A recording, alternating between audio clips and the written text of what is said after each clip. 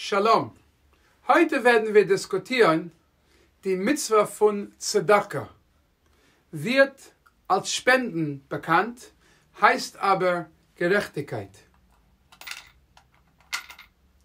Der Talmud in Jerusalem nennt die Mitzvah von Tzedakah die Gebot von Gerechtigkeit einfach der Mitzvah.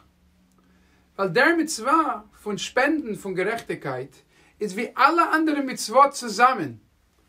Jede Mitzvah, jede Gebot ist mit einem bestimmten Körperteil. Tfilin mit dem Hand, Torah lernen mit dem Kopf, etc. Aber die Mitzvah von jemandem helfen ist mit unser ganzer Körper. Alles zusammen. Jetzt normalerweise Gott sagt nie, mach mir einen Test. Es gibt aber eine Ausnahme bei Gerechtigkeit. Ubechanuni na besot, sagt der liebe Gott, test mir. Mach mir einen Test. Helfe jemanden, spende Gerechtigkeit und du wirst sehen, du wirst nichts davon verlieren. Im Gegenteil, du wirst nur verdienen. Wie genau macht man Zdaka? Am liebsten jeden Tag, insbesondere vor dem Morgengebet und Nachmittaggebet. Das ist eine ganz besondere Zeit, Zdaka zu machen. Rabbi Huna, sagt der Talmud, Rabbi Huna hat erst was gespendet und dann gebetet. Weil beim Gebet, wir beten Gott für etwas. Du willst, Gott soll dir etwas geben. Tu was für ihn. Wenn du spendest niemand anders, wenn du hilfst jemanden, du hilfst sich auch selber. Wenn du hilfst jemand anders, Gott hilft dir. Deswegen bei Zdaka, Quantität ist manchmal sogar wichtiger als die Qualität. Das heißt, es ist wichtig, auch jeden Tag zu geben. Die Hand soll beschäftigt sein mit dem Tat ergeben. Physisch, Münzen oder am Computer digital. Die Mitzvah tatsächlich ist der Regelmäßigkeit, außer der Summen.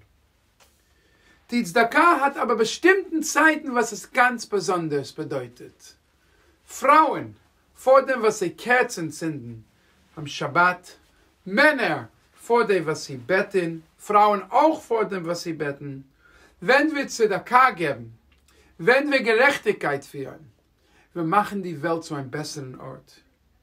Deswegen, liebe Freunde, die Wort Tzedakah auf Hebräisch heißt nicht spenden, heißt Gerechtigkeit. Weil wenn wir anderen teilen, dann sagt der liebe, sagt der liebe Gott, es ist mein Geld. Ich gebe es dir zu verwalten. Wenn du eine gute Arbeit machst mit dem Geld verwalten, dann darfst du 90% für sich halten. Dann kannst du 90% für sich halten, wenn du die 10% weitergibst. Gerade heute, wo die Welt so unter einer schwierigen Situation steht, ist es umso wichtiger, dass jeden Tag jeder von uns Tzedakah gibt. Das beginnt mit einem ganz kleinen, einfachen Tat.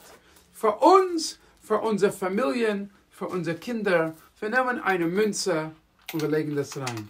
Und der Talmud sagt uns, dass die Klingen von den Spendenbuchsen treibt weg die negativen Kräfte.